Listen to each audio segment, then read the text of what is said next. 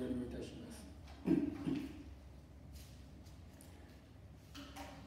彼が差し貫かれたのは私たちの尊敬のためであり彼が打ち砕かれたのは私たちの咎のためであった。恵み深い神様今年もこうして私たちにこの主のの手術の礼拝を迎えさせてください。そしてあなたが聖なる招きを私たち一人一人にお与えくださってこうして見舞いに出させていただいていることを誠に感謝をいたします。神様どうぞ今日もう一度主はエルサレムに入りそしてユダヤ人たちの裁判によって十字架刑にされ息を引き取られた出来事どうぞこの願わくは何とか私たちをこの恵みに真理に近づけてくださいますようにどうぞ私たちの心の目を開いてくださって十字架の主を我が主よと呼び呼ばせてくださいますようにお願いをいたします。主前期で持たれている礼拝を祝福しあなたに栄光が来されますようにお願いをいたします。どうぞけれどもやむを得ずをとどめられている人々弱っている人たちをどうぞ顧みてくださいますように。主どうぞあなたのどうか臨在を表してくださいますようにお願いをいたします神様世界の争いをどうぞ憐れんでくださって願わく足をどうかおありにさせてくださいますようにお願いをいたします主の私たちの上に精霊の導きをお与えください皆によってお祈りをいたしますアメン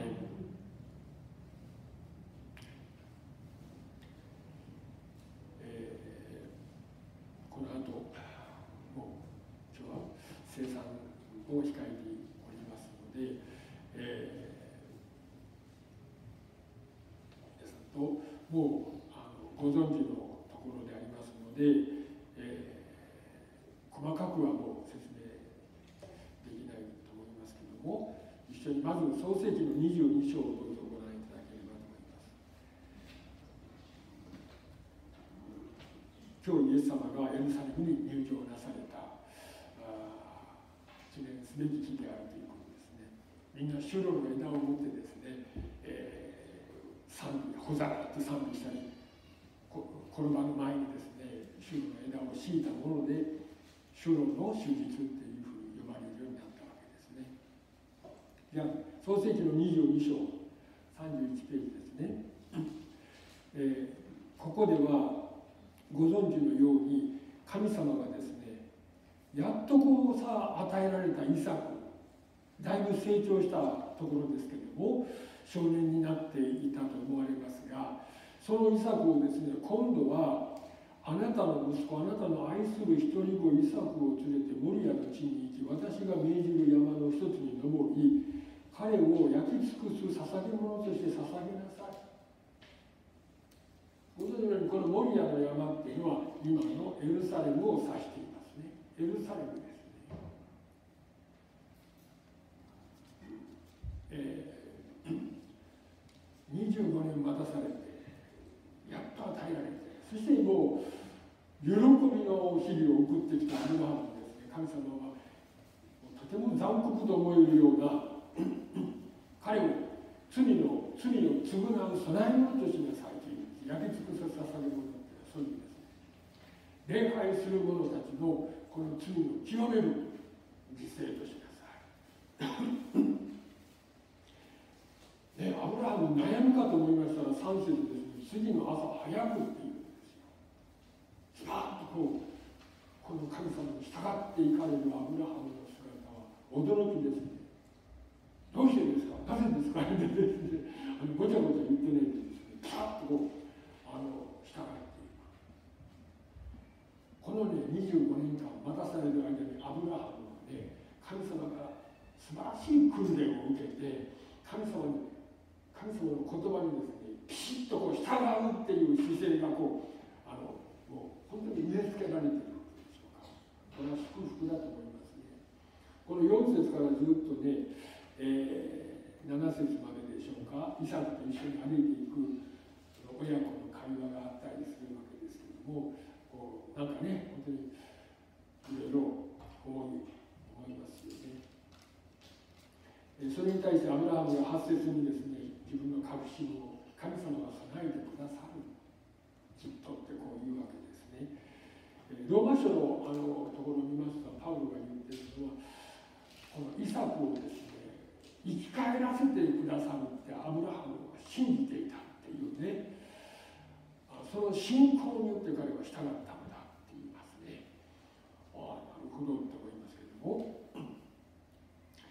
しかしあの9節10節ですね準備をしていきます。イサクが逆らわないでですね自分を任せていきますね。そして今アブラハムは刃物を持ってですね息子を告ろうとしているということですね。これは一節にありますよ。うに神はアブラハムを試されたっていうね試みられたっていうことでありま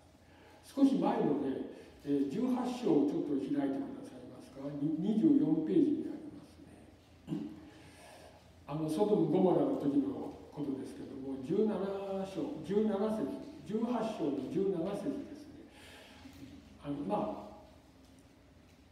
すぐお読みします。18章の17節。24ページ上の段の5行目になります主は言われた私が行おうとしていることをアブラハムに隠す必要があろうか、それぐらい神様は今アブラハムをですね本当にもう喜んでらっしゃる。もう全く信頼できる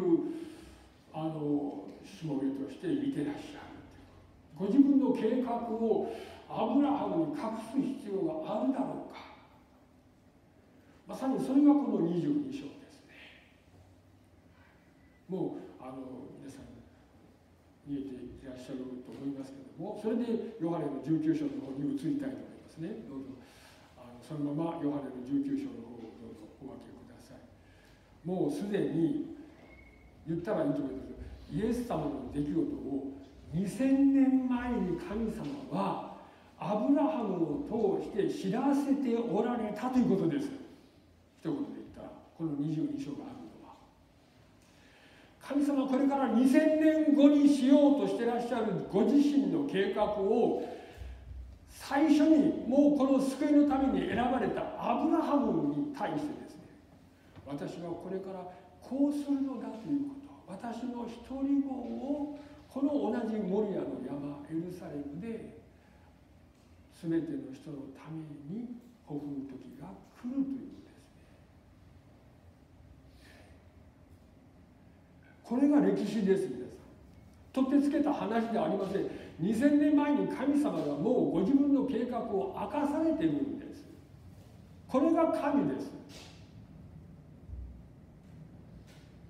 誰かに相談してどうしようかこうした方がいいかななんてですね誰もそんな相談聞いたことがありません。神様はもうお決めになってることを行われるお方なのです。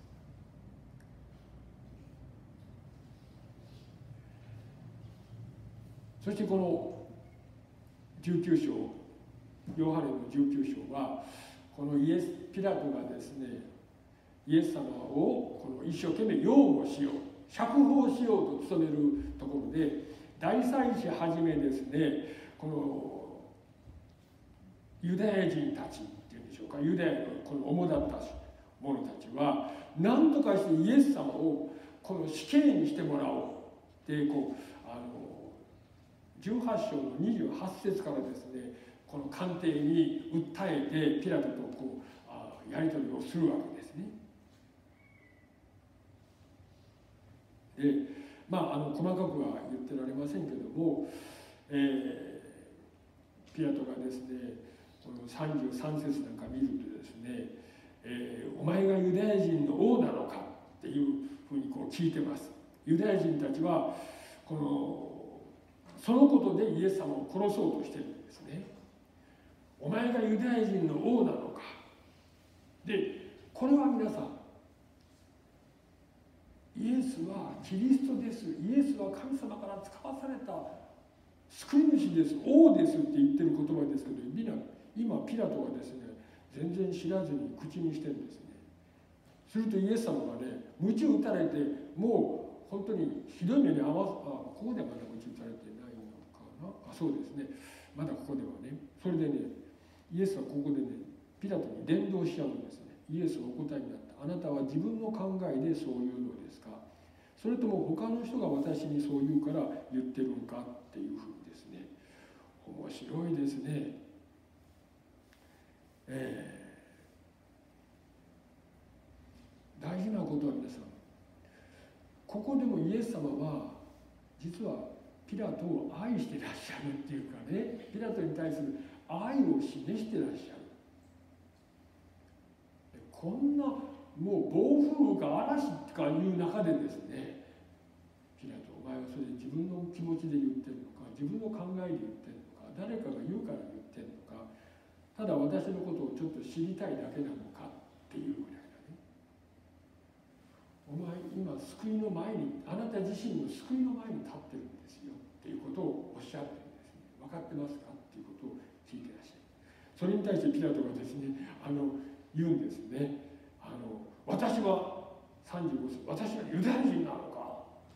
ってでもあの一生懸命頑張ってるんですけど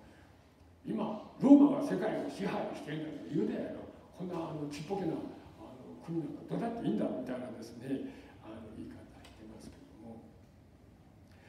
あの彼は取り調べたはずです。そして取り調べの結果これはローマには何の害もない。全くローマに対して何の恐れもない。ということが分かったところがもう大事なイエス様とは誰か何をしたのか何を言ったのかということをもうちょっと関心を持つべきでしたね。ピラトはその辺のことを知らなかった。だからイエス様は36節でおっしゃって私の国はこの世には属していない。もし私の国がこの世に属していれば私がユダヤ人たちに渡されないように部下が戦ったことだろう。皆さん神の国天国では天使たちみんながイエス様を守るというんです。なぜならもうイエス父なる神とイエス様に愛された愛で彼らは喜びに満たされているんです。だから天使たちももうイエス様を愛さずにはいられないんです。それが天国です。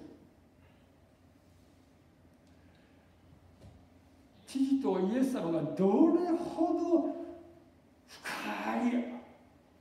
愛のお方であるかということをみんな知ってるんです。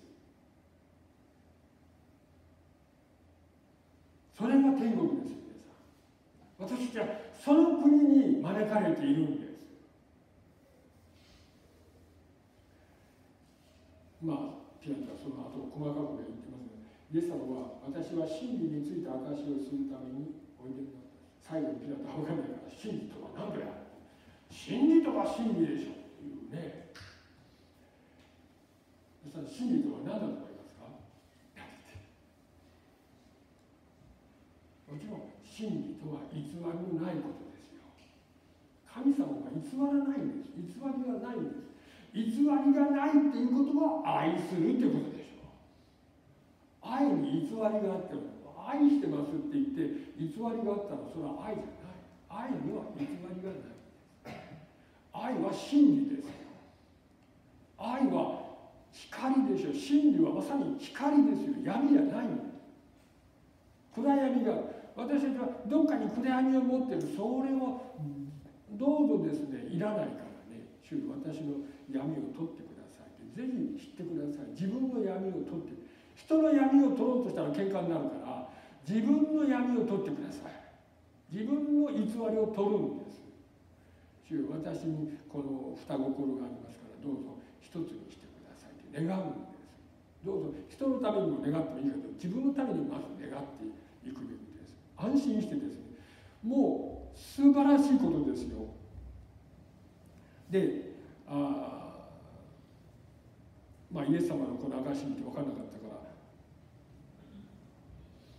今度ピラトがですね人前に出ていきましてもう一遍無実を伝えますね。その時にピラトが提案するのはバラバかイエスかっていうね。あのどっち釈放してもらいたいかっていうこのあの、まあ、司法取引っていう今よく言う言われます言われますよね。持ちかけるまあバラバとイエス様だったらこう釣り鐘と提灯じゃないけど違うだろうと思ってですね言ったらつもりでしたけども跳ね返されてしまう。その男ではないバラバを許して釈放しろって言われてしまう。今度は19節19章の 1, あの一節から見るとですねピラトはあの3回目のこの提案でですね、まあ、あの判決が決まってないのに鞭打たせました、ね、そしてもうよろよろにしてもう血だらけにしてっていうかもう見る影のないようにしてそして不格好な王様を演じさせます。しかしユダヤ人たちのこの訴えはとどまらない。7節をご覧くださると私たちには立法があります。立法によればこの男は死罪に当たります。神のことを自称したからです。ユダヤ人にとってこの神の子っていうことぐらいまあですね震撼させられるゾーッとする言葉はないのです。叶いませんでしたイエス様に。はその技がかな癒されるし水の上は歩かれるしもう食事はすごい与えられるし教えはもうみんなあのやられちゃうしですね。叶いませんでした。そしてついに私がそれですとおっしゃった。ええー、皆さんこれは彼らはねまあピラトも震えるんですけどもピラトの震えとこのユダヤ人たちの大祭司たちの震え。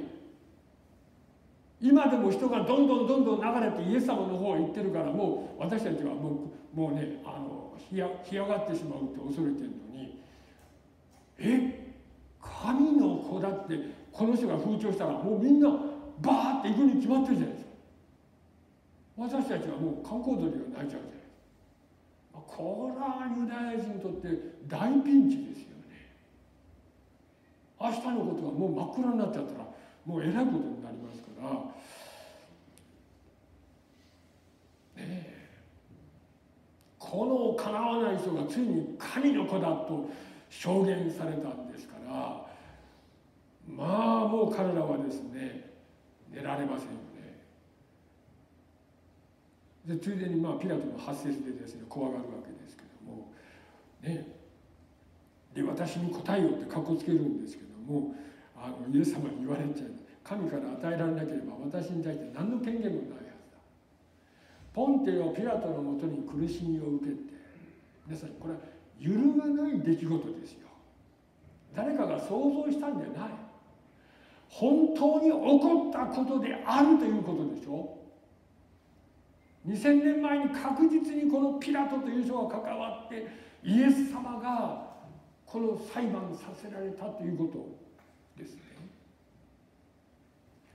だからこの11節の後半だから私をあなたに引き渡した者の罪はもっと重い。ですよね。彼らは立法を学んでんです。旧約聖書を学んでんです。旧約聖書の約束を知ってんです。モーセも言って私のような預言者が使わされる。そのものに聞かなければならないと言われてんですよ。アブラハムに約束したあなたの子孫によって全ての人は祝福を得ると言われてるんです。しかし今ユダヤ人たちは実はもうそんな気がなくなってるんですね。もう12節の方読んだら分かりますけども。あもう飛んでですね15節のところへ行ってみますともう彼らはひどいことを言ってますね。最後の言葉。最主張たちは15節私たちには皇帝の他に王はありませんって言ってるんですね。最後の決め手はこれです。私たちにとってメシアキリストは皇帝ですって彼らが言っちゃったんです。だからもう私たちは天からの神神という方からの救い主は待っていないんです。もう見えるこの現実の世界の王が、ね、私たちの王あなあなたの王が私私たちの王ですって言ってる。私たちはあの他に救い主を求めてはいないって証言したんですこれは。これがユダヤ人。今ユダヤ人はローマとうまくやって生き延びようとしている。これが自分たちなんですね。ですからこの罪は重いってイエス様おっしゃる。だから11節に戻って私はあなたに引き渡したものの罪はもっと重い。立法を学んでいながらこの金約聖書の約束をこの聞いていながらその通り来た方ですねを彼らは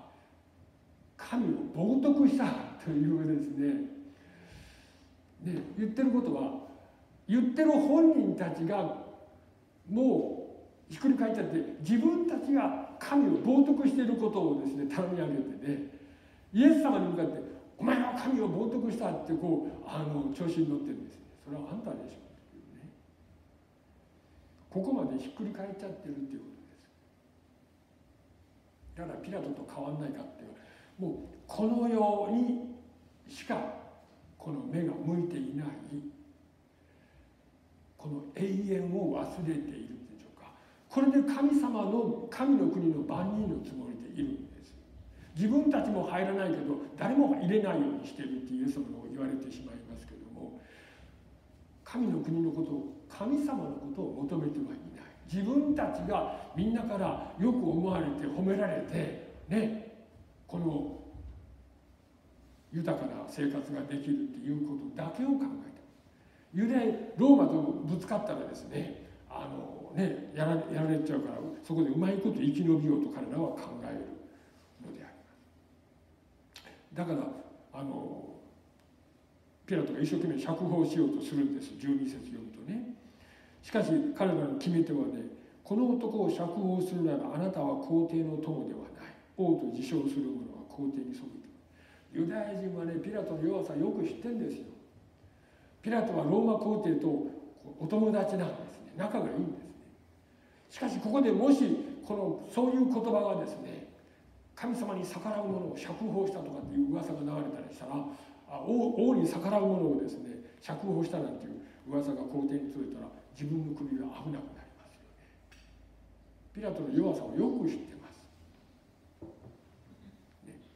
そしてあの先ほど言った15節がピラトにとって決めてですね。王様はピラトあのピラトの王様アウグトゥースしかいないとこういうことになる。それであのピラトはですね一切の権限があるといったピラトがそこでピラトは十字架につけるためにイエスを引き渡したっていうんですね。すいませんちょっとね、えー、それで十字架につけられて彼らはっていうのは兵士たちのあの16節ので十字架につけられた頃彼らはイエスを引き取ったというのは平卒ですね。そしてイエス様をですね18節で罪人の真ん中にイエス様をつける。これは50イザヤ書53章の12節が予言している言葉が実現していくわけですね。そして代表書きはナザレのイエスユダヤ人の王と書いた。ユダヤ人の王というのは世の救い主っていう意味ですね。全ての人の救い主であるという意味です旧約聖書で言うということですね。アブラハムにあなたの子孫によって全ての民は祝福を受けるんですね。ユダヤ人はそれを書いてくれって言ったけどですねそんなことです。次23節からイエス様の服装ですね。マリアがあのよく作ってあったんですね。それについてこれは詩篇の22編の19節にあります。24節。彼らは私の服を分け合いうんその予言の実現ですね。そしてイエス様はお母さんを弟子に委ねていきます。そしてイエス様が死なれるっていうのが28節です。この後どうぞ28節。イエスは全てのことが今や成し遂げられたことを知り乾くと言われた、ちちょっとですね17章戻ってくださいますか？このイエス様が最後のお祈りをされたところ。ヨハネの17章の4節をご覧ください。そこにねイエス様はこうこうお祈りされています。ヨハネの17章の4節。私は行うようにとあなたが与えてくださった技を成し遂げて地上であなたの栄光を表しました。もう先取りしてお祈りされてるんですけどもイエス様はこの神様が与えられた技を今成し遂げておられるということです。それが十字架なのです。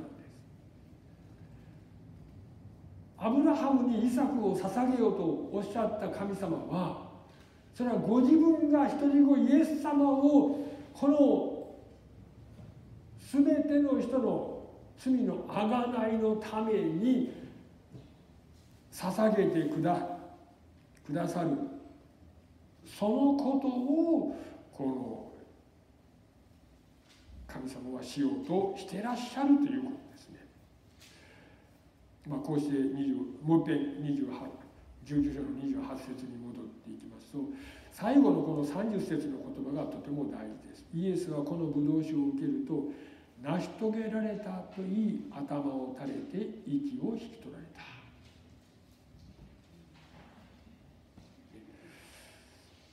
この成し遂げられたということが重要なのです、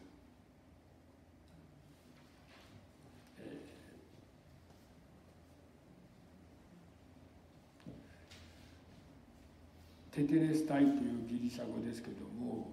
この成し遂げられたっていう意味は皆さんもお分かりだと思いますけども神の御子イエス・キリストの地による、ね、地による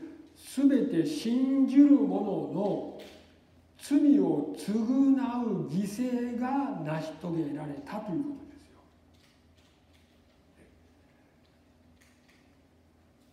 すよ。罪のないイエス様のこの地によって信じる者の罪の償う犠牲が成し遂げられついに成し遂げられたこのね清い地による犠牲による以外の罪の許しはないんです。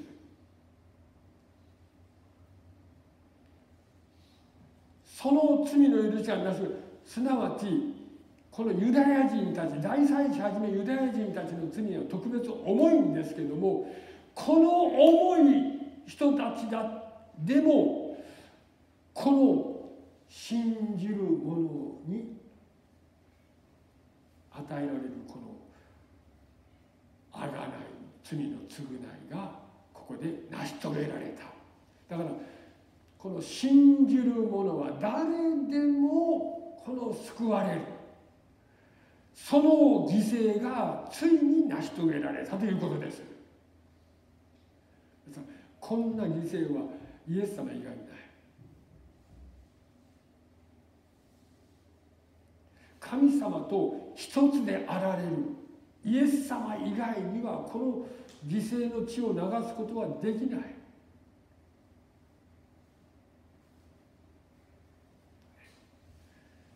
これが十字架なんです。ユダヤ人たちがイエス様を訴えたどころじゃなくって本当は神様がこのようにもうひっくり返ってるユダヤ人でさえ愛さずにはいられないということを表したのがこの十字架なんです。神様に恐ろしく背くものをも神様が許されるこれが十字架ですよ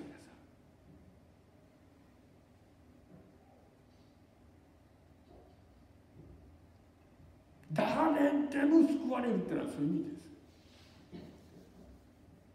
どんなちっちゃな罪でもイエス様のこの犠牲による以外に救いはない。まあちっちゃなったらだけどね。皆さんこの全部があの乾くっていうのはね詩篇の69編の22節の御言葉の実現です。皆さん一つ一つがもう旧約聖書に言われている通りに実現していくのです。こんなね、脚本にかれてある通りになるなんていうことはもうあの決して人間にはできない。最後のあの十字架にかけられて足を折るもうね早安息日が始まるから足を折りましょうという時イエス様の足を折らなかった、ね、それがこの3637にその骨は一つも砕かれない。詩篇の34編の21節に。そして彼らは自分の突き刺したものを見る。ゼカリアの12章の10節。ですから一つ一つがね旧約聖書に予言されている通りになってるんです。神様がその時その時に預言者たちに予言させられたことがこの十字架に全部集約されてる。旧約聖書はまさに私を指している十字架を指しているって言ってもいいかもしれない。これは神様の愛を指してるんですよ。どんなものをも愛されるというこの愛がこの十字架です。これこそが真理であるという意味です。ここに偽りはないのです。これが光であり命であり道であり全てでしょう。天から下ってきたパンですよ。乾くことのない水です。全てです。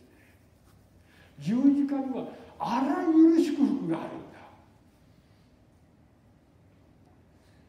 私たちはまだまだねこの愛に満たされてねそしてね本当にあの歩んでいく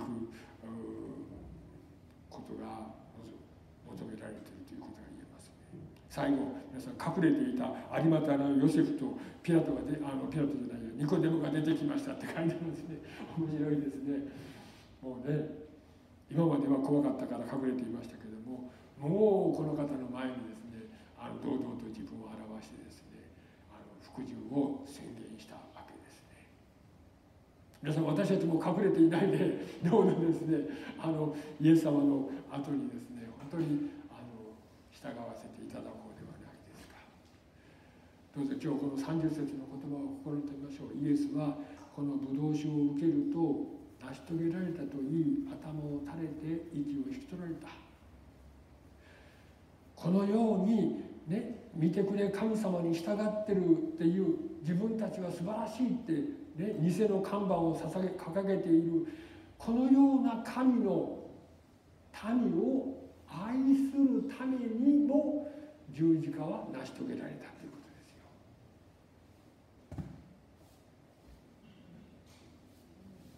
ということ誰でも救われるっていうことになるでしょ誰でも。もうあの人は許せないと思ってる人でもですねあのね神様は愛されてるに違いないってあのねお祈りいたします。恵みと憐れみとも神様。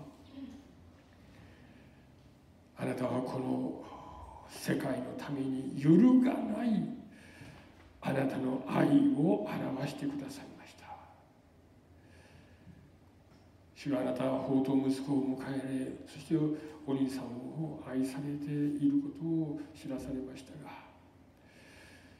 主をどうぞまず私たちがこのあなたの